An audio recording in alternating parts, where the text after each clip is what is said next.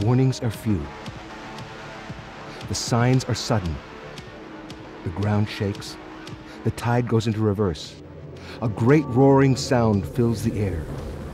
And then it strikes.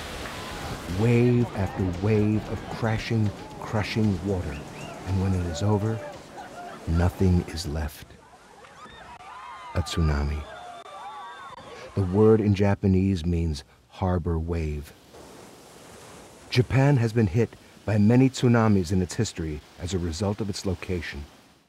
It lies across the edges of four tectonic plates where most earthquakes, the principal cause of tsunamis, are born. When two tectonic plates push together, the resulting earthquake sends enormous amounts of energy up through the ocean, displacing huge amounts of water a series of waves expands in all directions. In deep water, these waves travel fast, up to 500 miles an hour, but reach a height of only a few feet. A passing ship may not even detect them. But as the waves enter shallow waters, friction with the ocean floor lowers their speed and raises their height. As they move onto land, the waves can rise to a height of a 10 story building. A tsunami wave doesn't break like an ordinary wave.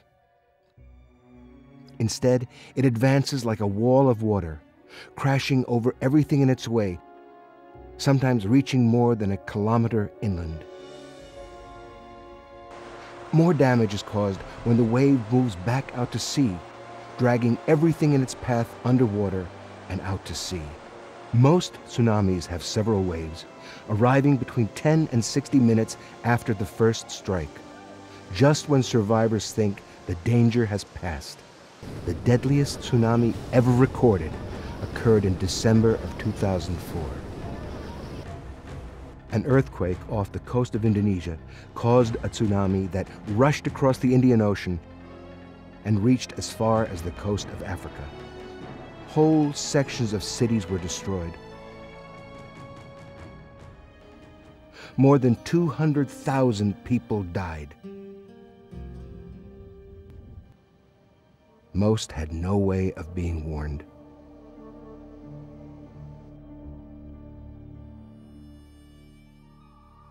Five thousand miles away in Hawaii, Scientists at the Pacific Tsunami Warning Center monitor the Earth's movements 24 hours a day, hoping to prevent a similar disaster from happening in the Pacific region. If they detect a quake big enough to cause a tsunami, the scientists track where the wave will head and warn the people in its path. Their advice is simple abandon coastal areas and move to higher ground. Wait for news that the danger has passed, and be ready to deal with the destruction that a tsunami inevitably leaves behind.